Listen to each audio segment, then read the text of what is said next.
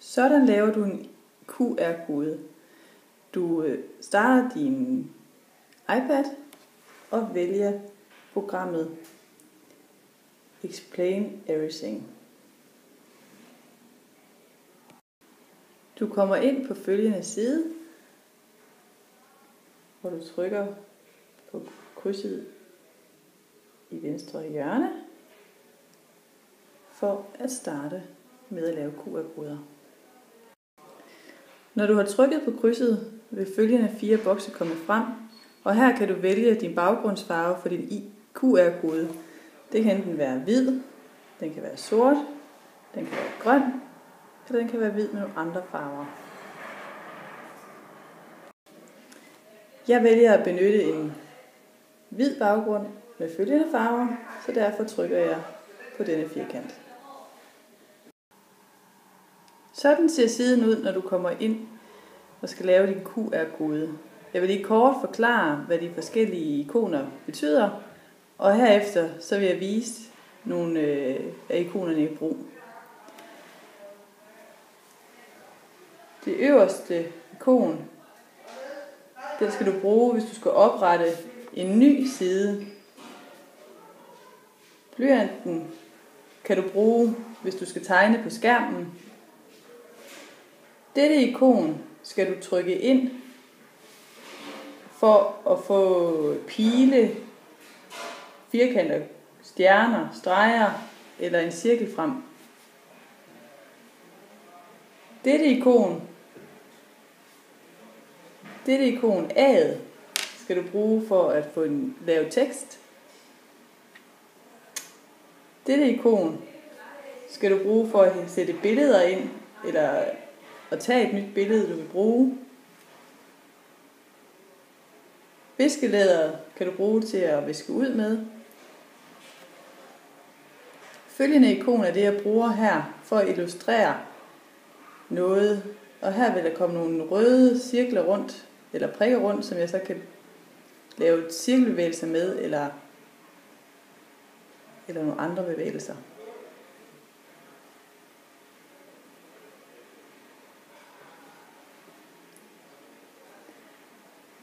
Følgende ikon er, hvis jeg skal fortryde og gerne vil et skridt tilbage.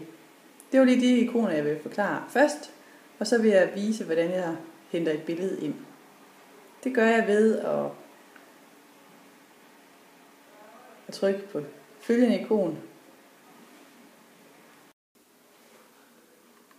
Når jeg trykker på dette ikon, vil følgende kasse her komme frem. Jeg har nu mulighed for at vælge, hvordan jeg vil få et billede ind jeg kan hente et fra en fil, eller fra en eksisterende billede eller video. Jeg vælger i den her situation at tage et nyt billede, så derfor trykker jeg på et nyt billede. Jeg har valgt at tage et billede af et vindue. Når billedet er taget, vil der komme en blå boks nede i højre hjørne, og der skal jeg trykke på for at bruge billedet. Herefter vil følgende billede komme frem. Her kan jeg vælge at vende billedet ved at trykke på dette ikon.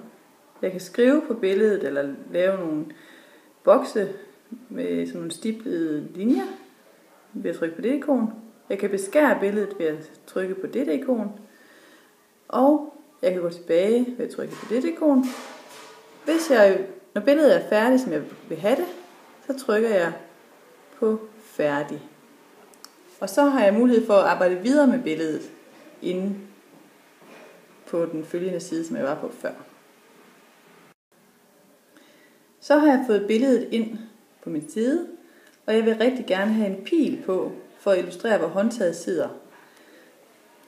For at få en pil frem, så trykker jeg på følgende ikon, og så kommer denne kasse frem, Inden jeg gør det, skal jeg vælge, hvad er det for en farve, min pil skal være. Jeg kan vælge, at den skal være sort, jeg kan vælge, at den skal være lyserød, eller jeg kan vælge, at den skal være blå.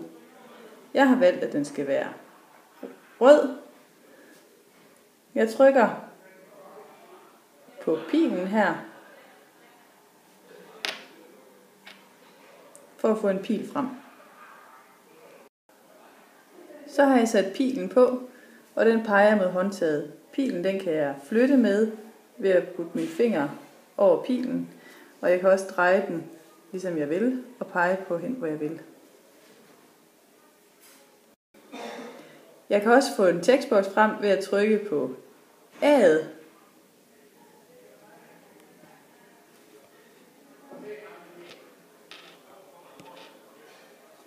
Her kommer tekstboksen frem, og så kan jeg skrive min tekst. Jeg skriver for eksempel Drej håndtaget til op og skub vinduet udad. Så tager jeg tastaturet væk.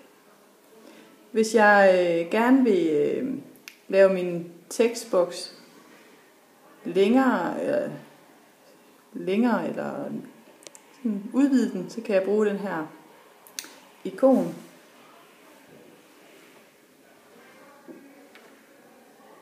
Jeps. Nu er, har jeg fået en tekst på. Jeg kan trykke på blyanten, hvis jeg gerne vil tegne på billedet. Det kan fx være, at nu tegner jeg lige et hjerte. Hvis nu jeg fortryder mit valg, så kan jeg trykke på viskelæderet, og enten så kan jeg vist dele af billedet ud, men jeg kan også holde min hånd på hjertet, når jeg trykker på, på, på viskelæderet, og så får jeg ligesom en boks rundt om hele elementet. Og her kan jeg så vælge at slette hele hjertet. Men der er simpelthen forskellige funktioner. Og her er det også, at jeg kan trykke på, øh, på det røde ikon, med det runde ikon, for at få øh, de her bevægelser frem. Så det vil sige, at jeg kan, mens jeg snakker her, køre min finger rundt om håndtaget, og så kan jeg læse teksten op og sige, du skal dreje håndtaget op, dreje håndtaget op og skubbe vinduet ud. På den måde så kan jeg så illustrere det ved at, at flytte min finger rundt. Når min QR-kode den er færdig, som jeg gerne vil have den, jeg vil lige, jeg vil lige vise en ting, inden jeg øh, går videre. Det er, at nu vil jeg gerne have et nyt billede på i serien. Det vil sige for eksempel, hvordan jeg nu åbner vinduet. I den situation, så går jeg op og trykker på det hvide papir med et, et kryds i øverste højre hjørne. Når jeg trykker på den, så kommer der en ny side frem. Og nu kan jeg så vælge at bruge et nyt billede. Her kan jeg trykke på på, øh, hvad hedder det, det hvide papir, hvor der er et grønt kryds nede i nederste højre hjørne. Og hvis jeg trykker på det, så kommer den her boks frem, hvor jeg så kan vælge at bruge en fil. Og her går jeg så tilbage til billeder og går ind i mit i min kamerarulle og finder et billede, jeg har taget af, hvor vinduet står åben. Så trykker jeg på det billede, jeg gerne vil bruge, og jeg trykker færdig. Nu har jeg et billede af, hvor vinduet står åben, og så kan jeg begynde igen og sætte for eksempel en, en pil på ved at trykke på pilen. Og så har jeg den her, hvor jeg kan bruge den. Jeg kunne også vælge igen at sætte en tekstboks på. Jeg vil trykke ved A'et og på skærmen. Og her vi så, så kunne jeg skrive en tekst.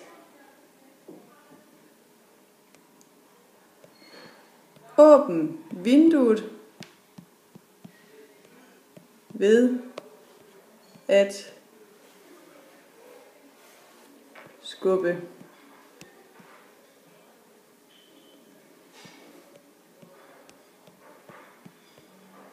Håndtaget op og vinduet ud. Og nu er jeg færdig med den tekst. Så går jeg ned og, og minimerer mit øh, tastatur. Og så kan jeg gå videre herfra. Og nu er min QR-kode færdig, synes jeg. Så derfor går jeg ned og trykker ned i nederste højre hjørne. Der er ligesom sådan en filmrulle med en pil på. Det vil jeg lige prøve at vise. Når jeg trykker på følgende ikon, kommer denne boks frem. Og jeg vil gerne have lagt den ind på YouTube, fordi jeg ønsker at lave det til en QR-kode. Så derfor trykker jeg på YouTube. Herefter vil følgende boks komme frem, og jeg vælger min titel. Sådan åbner du et vindue, som jeg skriver i denne hvide boks. Herefter så trykker jeg på udgiv, og så ligger min QR-kode nu på YouTube.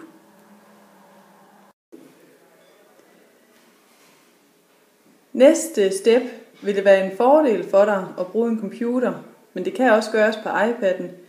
Men det er nemmere, når du gør det på skolens computer, fordi så kan du kopiere din QR-kode ud med det samme, du er færdig. Men øh, jeg viser lige, hvordan du vil kunne gøre det på din computer. Det gør du ved at skrive YouTube på Google og komme ind under YouTube. Jeg logger ind på øh, min Mariebjergs øh, YouTube ved at skrive denne e-mailadresse ucmariebjerg.gmail.com Herefter skriver jeg adgangskoden, som er VM2412VM. Og herefter trykker jeg på login. Jeg beklager, at dette billede er meget tydeligt. Men det her er bare for at vise, når du har fundet den QR-kode, du har lavet på øh, Mariebjergs side på YouTube, så vil der stå en adresse øverst, som er adressen på den QR-kode, du lige har lavet, eller den video, du lige har lavet. Og den skal du bruge, når du skal lave videoen færdig til en QR-kode.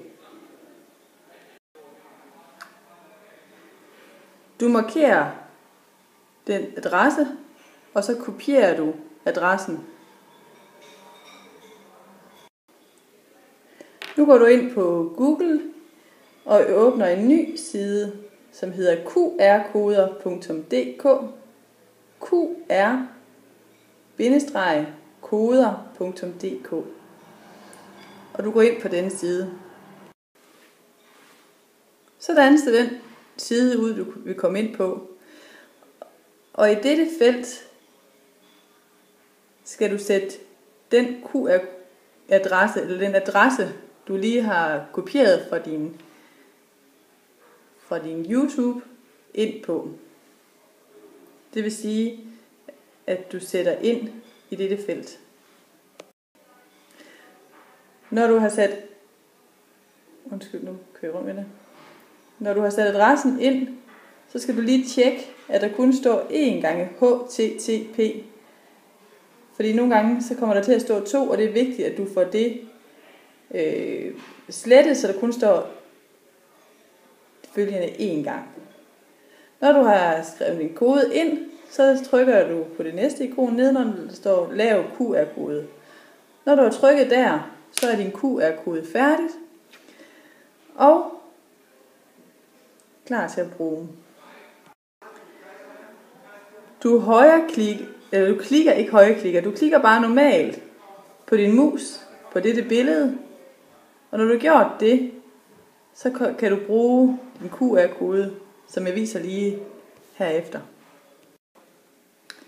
Så vil din QR-kode komme frem på et helt rent dokument, og du kan nu udskrive din QR-kode. Det gør du ved at trykke udskriv, øh, og så kan du laminere den eller hænge den op, hvor du vil, og så skal den egentlig bare klar til scanning. Du kan også kopiere den, hvis du skal bruge den i en anden sammenhæng. Men sådan laver du en QR-kode.